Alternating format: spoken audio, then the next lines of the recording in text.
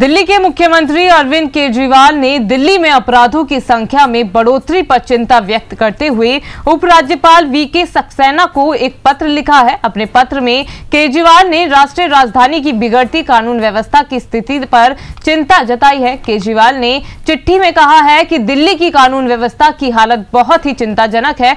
हर नागरिक असुरक्षित महसूस कर रहा है। दिल्ली की कानून व्यवस्था के लिए सीधे उपराज्यपाल और गृह मंत्री जिम्मेदार हैं।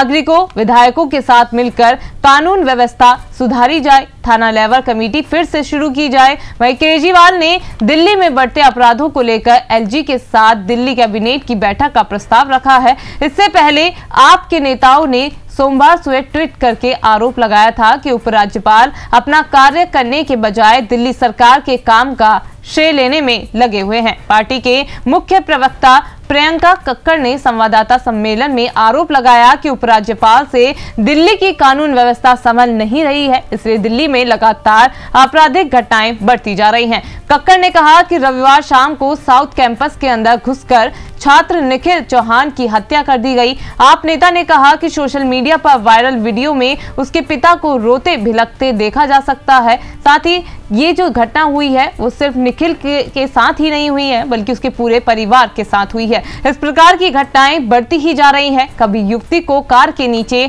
12 किलोमीटर तक घसीटा जाता है तो कभी घर में घुसकर दो युवतियों को गोली मार दी जाती है। इन घटनाओं से पता चलता है कि दिल्ली में लोग कितने सुरक्षित हैं।